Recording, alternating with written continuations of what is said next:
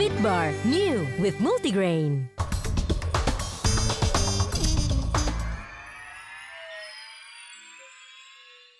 Dipersembahkan oleh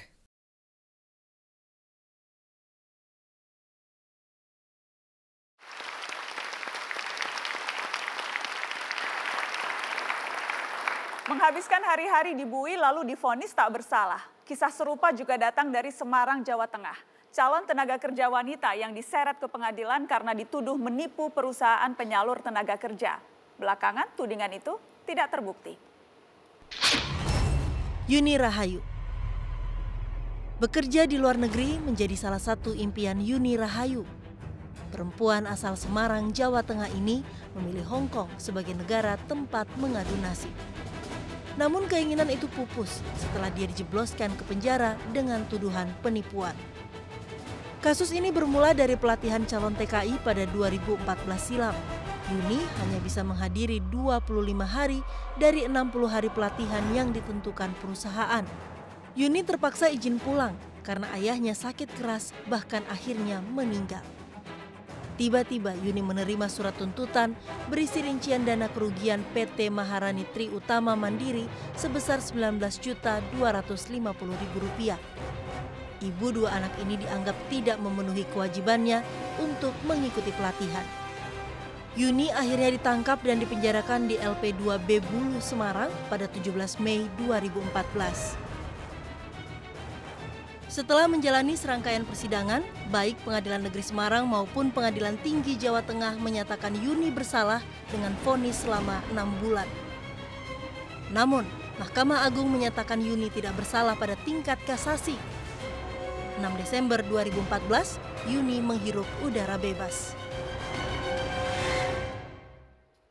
Sudah hadir di Mata Najwa, Yuni Rahayu. Mbak Yuni, terima kasih sudah datang. Datang dari Semarang bercerita ke Mata Najwa. Mbak Yuni sekarang sudah bekerja lagi? Iya, lagi bekerja. Masih satu minggu ini bekerja. Bekerja? Iya. Bekerja di mana Mbak Yuni? Di home industry. Oke, jadi bikin apa? Bikin tahu bakso. Bikin tahu bakso. Iya. Jadi bekerjanya di rumah saja gitu. Iya. Lumayan Mbak penghasilannya? Ya lumayan. Lumayan. Untuk hidup sehari-hari. Oke. Tadi ada ceritanya sedikit. Jadi Iya. Mbak Yuni seharusnya ikut pelatihan 60 hari, Iya. hanya bisa 25, 25 hari. hari. Dan apakah setelah itu ujuk-ujuk begitu saja perusahaan minta Mbak Yuni bayar ganti rugi? Itu selang selang selang satu minggu bapak saya meninggal dari pihak perusahaan ada yang datang ke rumah untuk eh, saya bisa masuk lagi ke PT. Kalau tidak bisa masuk, saya harus mengganti rugi sebesar 19 juta. Hmm. Itu yang mereka mereka sodorkan ke saya rinciannya. Itu memang perjanjiannya di perjanjian yang Mbak Yuni tanda tangani memang ada klausul itu harus bayar ganti rugi? Kalau pembayaran ganti ruginya ada, cuman untuk sebe- sebesar itu biayanya tidak sebesar itu. Tidak sebesar 19 Iya. juta. Mbak Yuni sendiri sempat dapat uang dari perusahaan?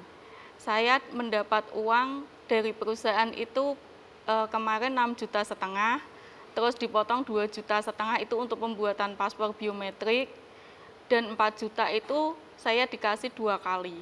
Oke. Dan kemudian ketentuannya harus menyelesaikan 60 hari dan Iya. kemudian baru diberangkatkan. Iya, Ketika Mbak Yuni tidak bisa hadir karena eh, apa namanya mengurusi ayah Iya. yang sakit sampai Iya. kemudian ayahnya meninggal. Meninggal. Itu padahal sudah disampaikan ke perusahaan. sudah. Dari awal saya eh, perjanjian untuk masuk ke PT atau ke training center waktu itu, saya udah ada pembicaraan Hmm. bahwa saya memang ayah saya kondisinya sakit dan saya harus minta izin pulang selama satu minggu sekali. Mereka memperbolehkan. Sempat diperbolehkan. Iya, gitu. Eh, dan akhirnya dilaporkan ke polisi itu karena Mereka melaporkannya kasus penipuan. Mbak Yuni dianggap menipu. Iya, menipu dan menggelapkan. Jadi langsung eh, ketika dilaporkan langsung saat itu ditahan. Iya. Satu kali 24 jam langsung. Perjanjiannya dulu waktu saya dibawa ke Polrestabes Semarang itu ingin diketemukan dengan pihak PT dulu. Hmm. Tapi tidak ada ditemukan dengan pihak PT. Jadi di- Mbak Yuni dijemput ke rumah, Iya, kemudian janjinya mau dipertemukan. Iya. Di, di mana nih? Di Polsek, di Polrestabes. di Polrestabes. Iya. Tetapi sampai sana tidak ada. Tidak. Malah langsung masuk penjara. Iya. Belum sempat pamit keluarga. suami saya yang yang waktu itu ikut ke Polrestabes uh, disuruh cari uang untuk bayar ganti ruginya itu. Yang 19 juta Iya. itu. Hmm. Kalau bayar ganti rugi, Mbak Yuni akan dikeluarkan menurut Iya. polisi ketika itu. Iya. Tidak ada uang 19 juta ya, Mbak? Uang dari mana? Kita niatnya juga mau kerja ke luar negeri cari uang. Tidak mungkin membayar ganti rugi Iya. sebesar itu. Iya, kondisi apalagi ayah saya juga baru saja keluar masuk rumah sakit dan akhirnya meninggal kan juga butuh uang. Jadi enam bulan di dalam penjara. Iya.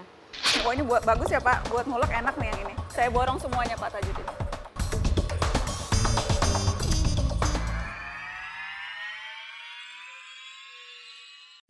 Dipersembahkan oleh